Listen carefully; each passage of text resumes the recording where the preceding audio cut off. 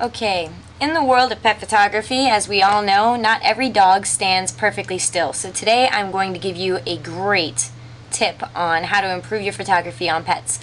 Whenever you have a dog that will not sit still or will not stand still, don't be afraid to keep the dog on a leash, especially when you're in wide open spaces.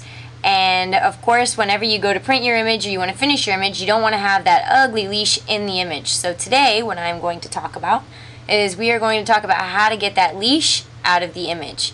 And it basically goes just like this. What you're going to do is you're going to open up your Photoshop and of course open up your image.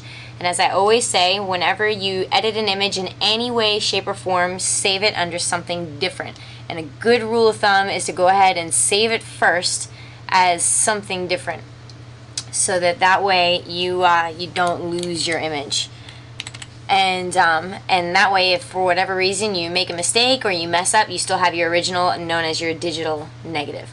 Okay so here's the image and I have a cute little black lab here that I took a photo of at a horse show and we want to get rid of this leash. What I'm going to do is I'm going to click on this tool right here. This is my clone stamp tool. And you'll notice you kind of sort of see a little cursor. What I'm going to do is I'm going to go up to my brush size over here and I'm going to increase the size of my brush until I have it just where I want it. I'm going to decrease the hardness. There we go. Now for this particular image, my master diameter is set at 95 pixels and the hardness is set at 19%. But every image is a different size. So with this particular image, we're going to keep this size, but you just kind of want to play it by ear and, and see how it goes. I'm going to ignore that there and I'm going to click on the image. Now what you want to do is you want to hold your option key down and you'll notice that my cursor changed to like this little bullseye thing. I let go of my option key and it's a paintbrush.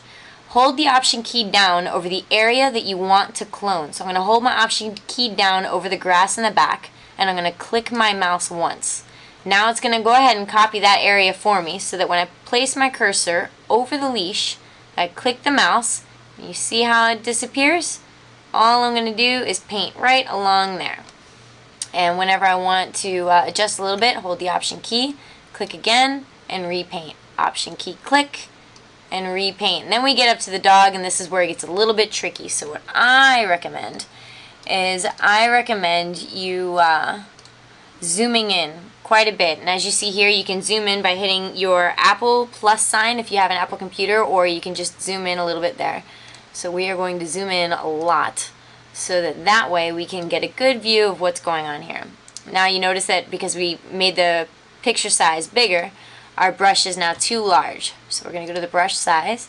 I'm going to decrease the master diameter so it's just about right. Okay. Now what we're going to do is we are going to, again, option click on the black this time because that's where the, uh, that's the part that I want to mimic. I'm going to click on the black and then I'm going to very carefully come over to the buckle and we're going to just start to erase that. Bring it all the way down. And don't forget that uh, in order to actually use the clone, option click, you want to click your mouse down and that's when it uh, that's when it duplicates. If you don't click the mouse down, then it won't.